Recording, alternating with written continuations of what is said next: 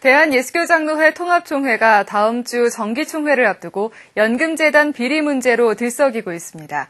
또 교단신문인 기독공보 사장의 재임 결정을 놓고 총회 감사위원회 전 위원장들이 이례적으로 실명으로 반대 입장을 발표하면서 기독공보 사장 인준 문제도 뜨거운 이슈로 떠올랐습니다. 최경배 기자가 취재했습니다. 예장 통합총회 목회자들이 노후 대책을 위해 납입한 연금이 연금재단 관계자들의 횡령과 부실 경영 등으로 천억 원대의 손실 입은 것으로 드러나 충격을 주고 있습니다.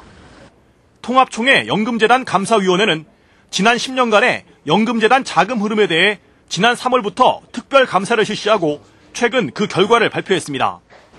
12,000여 명의 연금재단 가입자들이 지난 10년 동안 납입한 금액은 총 2,430여억 원. 만일 이 자금을 지난 10년 동안 4% 정기 예금에 넣어놨다면 현재 3,500억에서 4천억 원으로 불어났을 겁니다.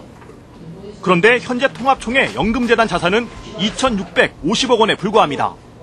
부실 경영에 따른 손실액이 1천억 원에 이르는 셈입니다. 재단 관계자들의 비리 정황도 드러났습니다. 한 직원은 증권사에 투자한 40억 원을 이사회 보고 없이 계약 해지한 뒤 담당자를 바꾸면서 수수료를 챙긴 것으로 드러났고 규정에도 없는 거액의 퇴직 위로금과 연수비를 챙긴 사례도 적발됐습니다.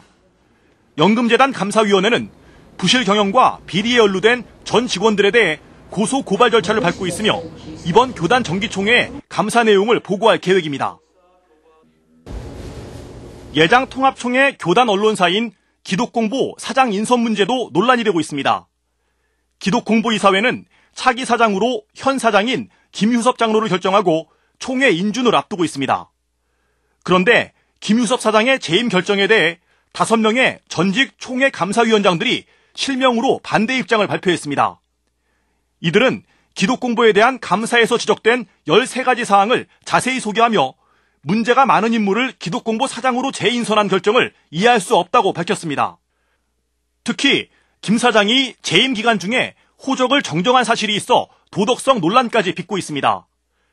1949년 1월 1일 생으로 알려진 김 사장은 지난 2010년 12월 서울 서부지방법원에 호적 정정 신청을 제기해 1952년 1월 27일 생으로 호적을 정정했습니다. 이에 대해 감사위원장들은 사장 연임 자격을 갖추기 위해 생년월일을 3년 젊게 정정한 것이라며 도덕적으로 납득할 수 없는 일이라고 주장하고 있습니다. 적법한 절차를 통해 호적을 정정했다는 게 김 사장의 입장이지만 호적을 고쳐 교단 기관장에 선임되는 것은 교단 역사에 좋지 못한 선례를 남길 것이란 의견이 큰 상황이어서 교단 총회에서 어떤 결정이 나올지 관심이 모아집니다. CBS 뉴스 최경배입니다. 고